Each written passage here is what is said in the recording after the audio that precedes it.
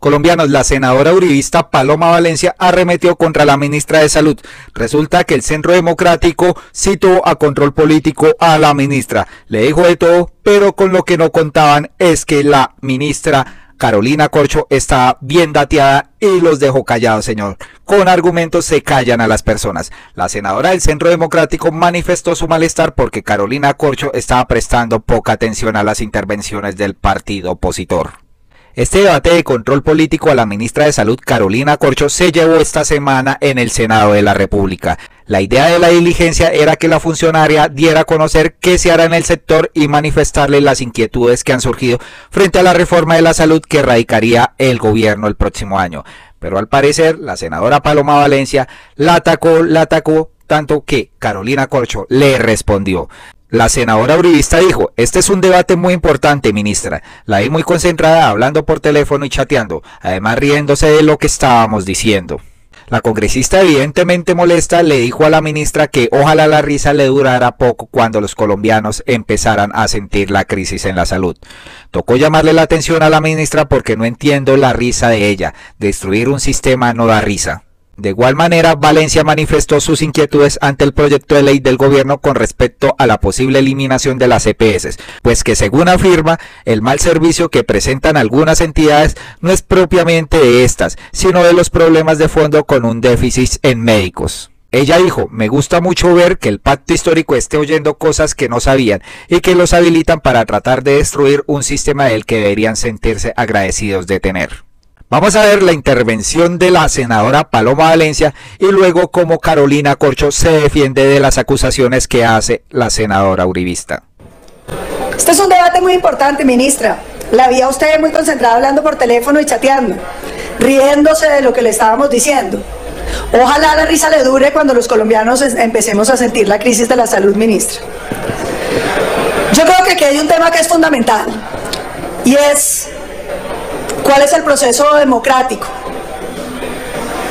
Yo me imagino la democracia como un, una obra constante, doctor Humberto de la Calle, un edificio que se va construyendo gobierno a gobierno, donde a través de los tiempos los ciudadanos vamos aportando para que los problemas se solucionen. Y entonces usted encuentra gobiernos que construyen muy mal, chambonamente, con malos terminados. Y encuentra en cambio gobiernos que construyen rápido, bonito, eficiente. Y encuentra gobiernos como este, que lo que pretenden es usar una bola de demolición para tumbar los pisos porque no les gustan para poder volver a empezar. Y yo creo que ahí hay un límite de la democracia que tenemos que tener muy en cuenta. Uno no puede sino construir sobre lo construido. Cuando uno se propone transformarlo todo de cero, Está llegando senador a mí como Cristóbal Colón, que creía descubrir América. Y entonces desconoce todo lo que hay, atropella todo lo que hay y termina siendo menos de lo que hubiera podido hacer. Uno tiene que cuidar, y ahí veo al senador Gallo que ha sido alcalde, uno tiene que cuidar lo que recibe. Y si hay algo valioso que haya recibido el gobierno de Gustavo Petro, es el esfuerzo que han hecho los colombianos en su sistema de salud. Son 30 años de este último sistema, pero no se equivoque, esto lleva mucho más, porque es que antes de eso también estábamos tratando de prestarle servicios de salud a los colombianos, sino que la salud es un problema difícil. Y por eso yo he querido titular este debate, reforma del sistema de salud o destrucción del sistema de salud. Porque aquí pareciera que nos llevan más bien, no a una reforma, sino a una destrucción. Y ojo, señora ministra, porque se ponen a destruir y no construyen lo que prometen y además nos quedan debiendo lo que ya teníamos. Este no es un tema menor y quiero que ustedes miren esta intervención siguiente. A la ministra claramente no le gusta el sistema. Mire lo que ella dice sobre el sistema colombiano. Oigamos, ¿Cómo se tienen que transformar? Las iniciativas no son de tipo ideológico, o es que quisimos. Es que hay una crisis evidente hay una crisis evidente del modelo, en el caso colombiano ya lleva tres décadas y que está inscrito dentro de las políticas del pensamiento neoclásico o lo que denominamos el neoliberalismo, donde hubo una apuesta en el mundo, en, América Latina sobre todo, de privatizar la salud. Esa apuesta tuvo tres décadas y en tres décadas ya pueden haber unos indicadores objetivos, unas evidencias también ciudadanas que pueden dar cuenta si ese modelo funcionó o no funcionó. O sea, 30 años. Bueno, la ministra dice que este es un modelo neoliberal, senador Chacón, que llevamos 30 años y que prácticamente no funcionó. Y yo quiero invitarlos a ustedes, congresistas y a los ciudadanos que nos están escuchando, a que evaluemos si ese modelo funcionó o no funcionó. Con toda tranquilidad. Siguiente. Colombianos, ¿ustedes qué opinan de las palabras de la senadora Paloma Valencia? ¿Seguro que este modelo de salud que tenemos hasta el momento sirve? A algunos les servirá porque es medicina prepagada, pero hay unas EPS que están en crisis, donde los usuarios tienen que hacer filas, donde los usuarios tienen que esperar los tratamientos que son debidos, ¿no? Las EPS siguen manejando un sistema de intermediarios donde reciben los dineros y que después no le pagan a los hospitales. Por eso se crea esta crisis en la salud. Dice la ministra, tenemos un modelo neoliberal que privatizó la salud, senador Chago.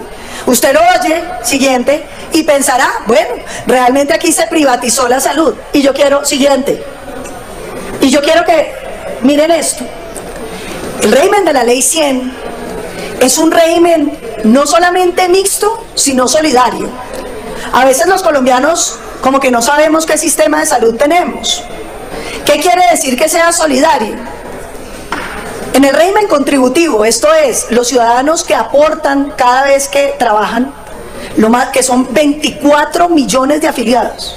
Senadora Aida, 24 millones. ¿Sabe quién es el que más aporta? El empleador. No como el caso de Chile, donde el empleado tiene que aportarlo todo. Aquí el que más aporta es el que contrata a un trabajador, senador JP. Ese es el que paga el aporte en la salud. Y la mayoría de esos aportes, por supuesto, no se usan no es una cuenta privada para atender ese empleado que usted afilió. Entra una bolsa común que nos permite los subsidios cruzados. Es decir, el que paga más contribuye con más, con plata para todos los que estemos parte en el sistema. Lo que es más importante, este sistema eh, genera, y esto es bien importante, un cubrimiento igual para todo el mundo. No porque usted pague más, usted tiene mejor servicio. Voy a mostrar por qué estos 100 días de la ministra Concho han sido una debacle para la salud colombiana. Primer punto, el desabastecimiento de, medicamentos. ¿Ustedes saben que Colombia está desabastecida de medicamentos? ¿Alguno ha tenido un niño enfermo y ha ido a comprar un antibiótico últimamente? Porque yo sí, y no hay antibióticos. Y entonces nos dicen, no, ¿sabe qué es lo que pasa? Es que hay una escasez mundial, ¿verdad? La mitad de la verdad. ¿Sabe qué es lo que está pasando? Siguiente, que Colombia está en un desabastecimiento muy grave. Mire, ni siquiera hay insumos para tratar el cáncer en Colombia. Siguiente. Mire las 1.200 novedades que han hecho las EPS por falta de medicamentos. Siguiente. Estos son los grupos que están en riesgo hoy porque no hay medicamentos. Los hipertensos, los de trastornos mentales, los de dolor, los de cardiovascular, los de anticoncepción, los de cáncer. Siguiente. Miren, les quiero contar esto porque es muy importante. Ya ni siquiera va a haber acetaminofén del que dicen que solo les dan, porque también está escaso. No está en ninguna EPS.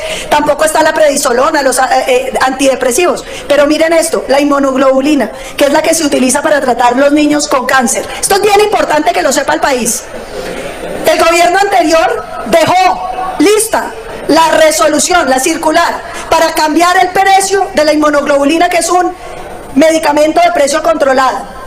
En estos tres meses la ministra no ha tenido tiempo para sesionar con la Comisión de Precios de Medicamentos. Por eso no hay medicamentos en Colombia. Están petrificadas las comisiones. ¿Y sabe quién se afecta? Los niños con cáncer. Siguiente. Tampoco nos van a decir ahora que es que van a hacer drogas genéricas con drogas la rebaja. ¿Y sabe qué es lo que quieren hacer? Siguiente. Pues dice que eso, pero entonces uno mira el plan de vacunación, que íbamos a hacer vacunas y que el gobierno anterior lo trabajó con el Banco Mundial y los expertos de talla mundial y también lo petrificaron. No dejaron que la Comisión Intersectorial lo sacara adelante y ya Perú y Ecuador están adelante y van a hacer las vacunas y nosotros quedamos por fuera. Siguiente. ¿Sabe qué quieren hacer con el INVIMA para fabricar los medicamentos? Bajar los estándares de calidad. Y eso no lo van a meter en el Plan Nacional de Desarrollo, señores. Para que estén listos, para que sepan que los medicamentos genéricos que les van a construir no van a servir para nada. Siguiente. Pero más allá de eso, ¿sabe qué quieren? La teoría de la crisis. Ahí está el documento del INVIMA, donde dicen hay que aprovechar los ataques cibernéticos que están generando un ambiente favorable para acabar con el INVIMA, senador Name. Siguiente. Más adelante dicen, no pudieron volver a entregar cada vez medicinal. ¿Sabe por qué? Porque la ministra no ha podido, no ha tenido tiempo de terminar el acuerdo de acceso administrado. Y entonces ya las EPS eh, e medicinales, tanto que les gustan las cannabis medicinales y no han sido capaces de firmar ese tema. Siguiente, no hay vacunas para la viruela de mono, no hay vacunas para la viruela de mono. Ministra, no hay vacunas para la viruela de mono. ¿Saben por qué? Miren, eh, resulta que la ministra dijo, no, es que Brasil y Perú tienen muchos más contagios. Mentira, Perú está muy por encima de nosotros y ya tiene vacunas hace rato. Los únicos que no tenemos vacunas somos nosotros. ¿Sabe por qué? Porque la ministra no ha hecho nada.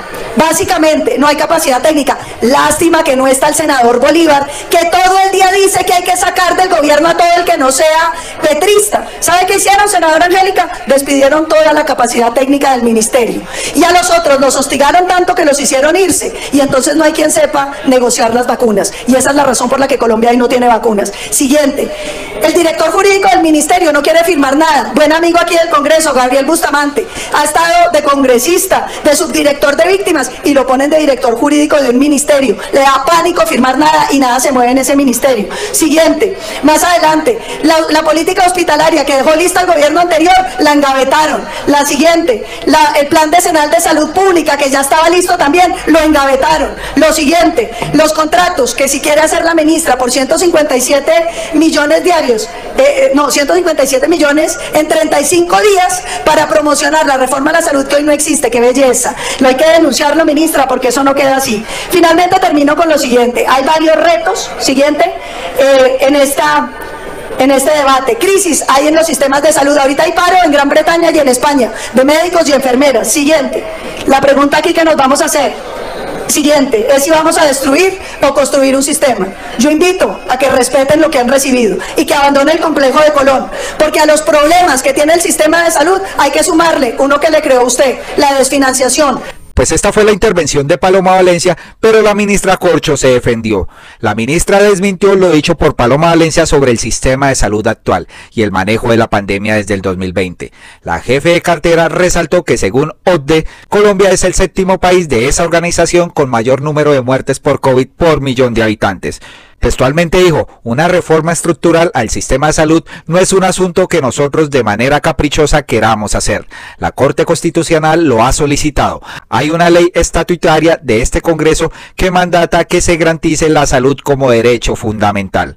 Finalmente informó que esta semana se hará conocer el protocolo correspondiente al Plan Nacional de Vacunación contra la viruela del mono, proceso que contará con el acompañamiento de la Organización Mundial de la Salud y la comunidad científica nacional. Vamos a ver la intervención de Carolina Cocho, donde le cierra la boca a la señora Paloma Valencia.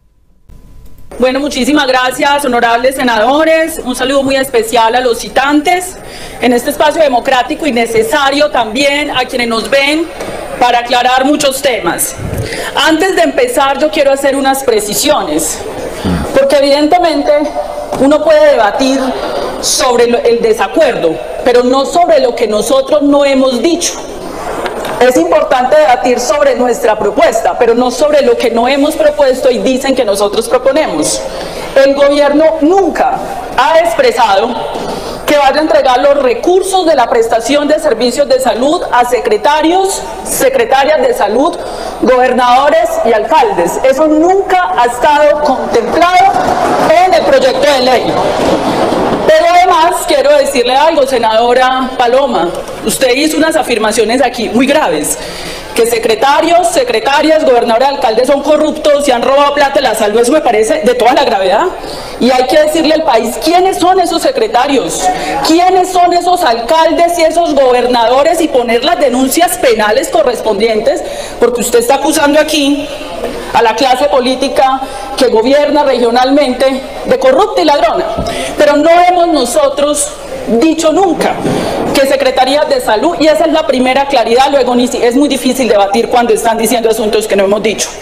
Segunda precisión, el sistema de salud hasta el 2012 era financiado una parte por los empleadores, pero hubo una reforma tributaria en el 2012 donde se quitaron los aportes de los patrones y se dejaron solo para entidades sin ánimo de lucro y entidades públicas.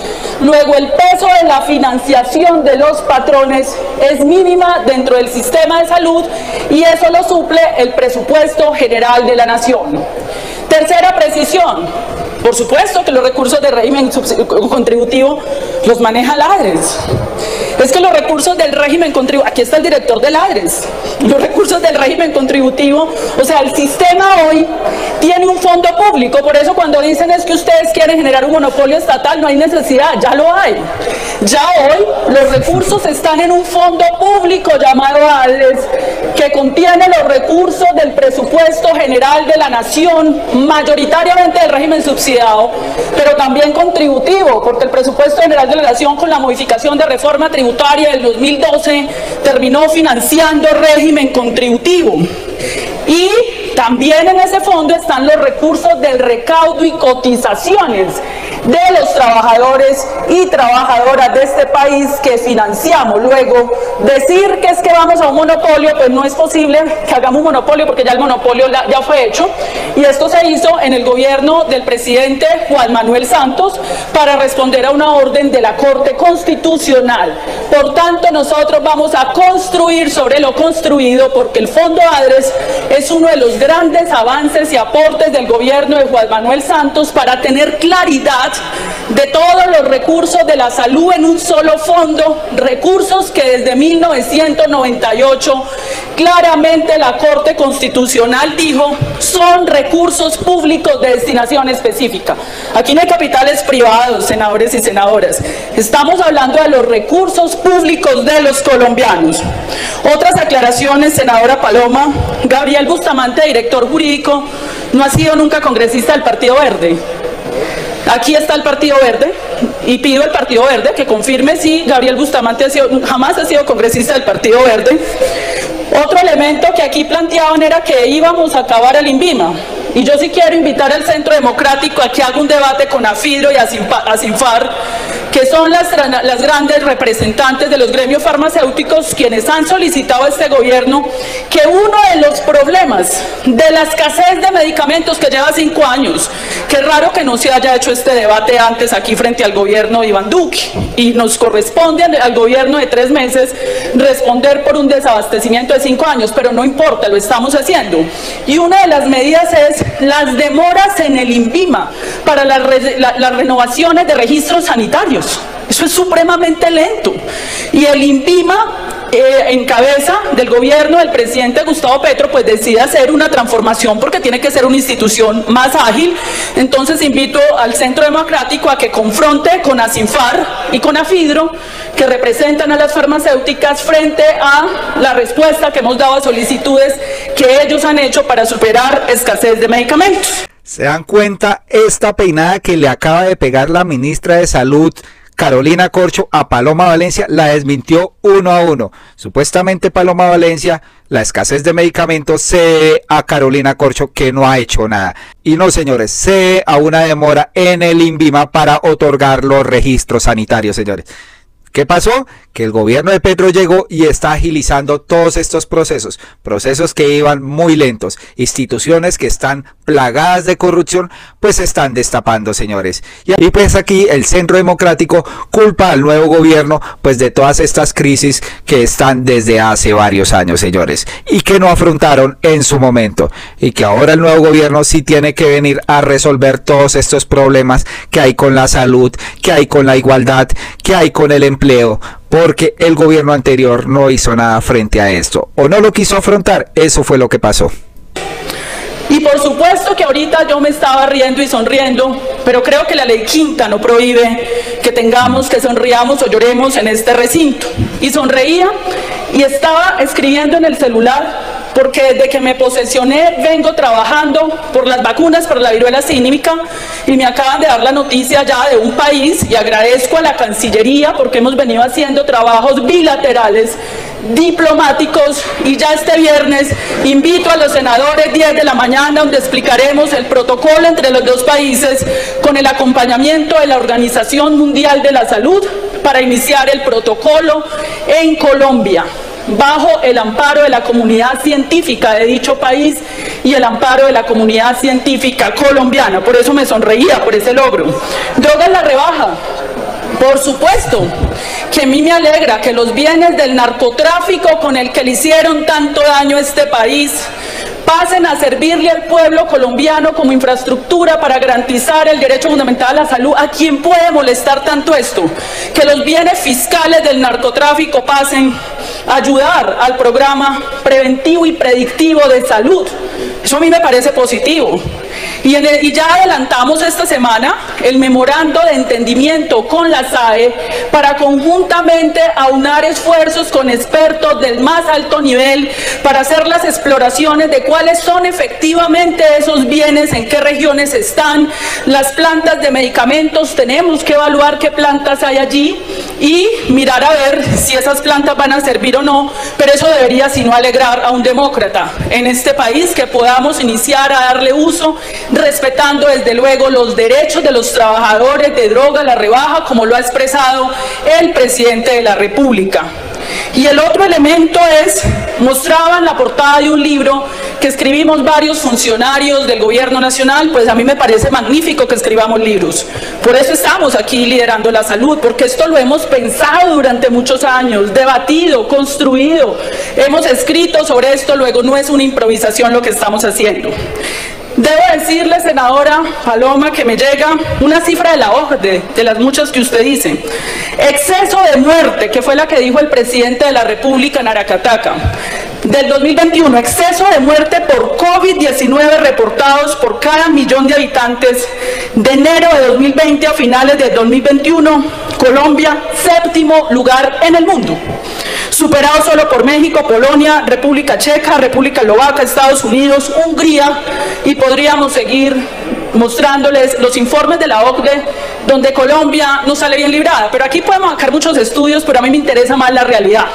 Bueno, señores, aquí quedó desmentida la senadora Paloma Valencia en sus argumentos sobre que la ministra Carolina Corcho no ha hecho nada por la viruela del mono, no ha hecho nada por la salud, no ha adelantado, por ejemplo, la producción de medicamentos y no. Por el contrario, cada día trabajan por un mejor sistema de salud. Desmentía totalmente la uribista Paloma Valencia. Holman Morris dijo, felicito a la ministra de Salud del gobierno del cambio progresista y popular Carolina Corcho por su claridad y contundencia en el debate de hoy de control político, defendiendo su gestión y la salud pública de todos los colombianos. Bravo, ministra. Otro usuario dice, ayer la ministra Carolina Corcho le dio sopa y seco a los uribistas en el debate de control político en el Congreso. Tanto así que los uribistas dejaron de atacarla en redes sociales y mejor se hicieron los locos. Las EPS se acabaron por el mismo sistema enviable. Aquí un titular dice, solo 7 de 25 EPS tienen dinero para operar. La muerte lenta del régimen subsidiado y contributivo. Por último, los dejamos con este usuario. Las EPS no serán más intermediarias. Su infraestructura quedará para prestar servicio de salud, pero no se les permitirá más administrar la plata. Muchos políticos patalearán porque con esa plata financiaban sus campañas. Esa guerra se ganará. Con todo, ministra Carolina Corcho. Pues colombianos, les trajimos este debate para que se dieran cuenta como una persona preparada, bien dateada, pues demostró a la senadora uribista que no es cualquier persona pintada en la pared, sino que sabe lo que está haciendo, señores. Si les gustó este video, por favor compártalo, suscríbete a nuestro canal y activa la campanita para recibir uno próximo. Muchas gracias por la atención y nos vemos.